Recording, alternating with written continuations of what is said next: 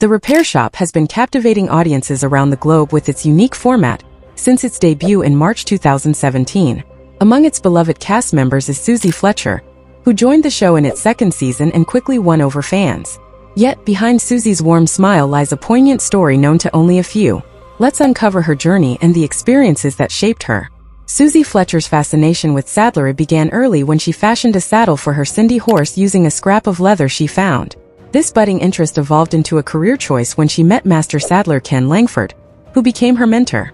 Under Ken's guidance, Suzie attended Cordwainers College in London, where she studied saddlery, leather goods, and shoemaking. With a solid educational foundation and mentorship, Suzie moved to the United States in the 1990s to further her expertise.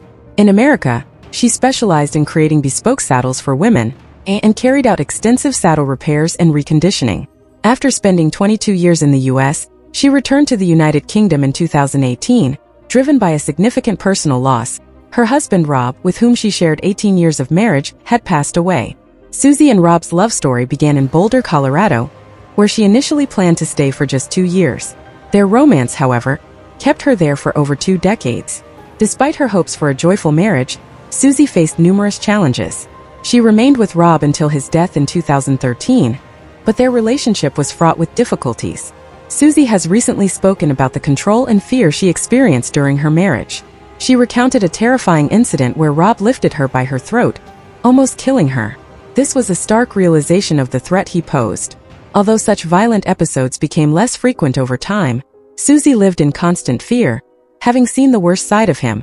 Rob succumbed to advanced pancreatic cancer in 2013, leaving Suzie to navigate life on her own.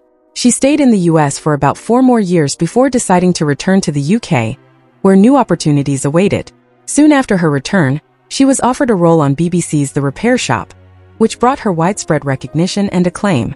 Suzie regards joining the show as the best decision she ever made, and she is thankful for the encouragement of her brother, Steven Fletcher, who also features on the show and continually inspires her.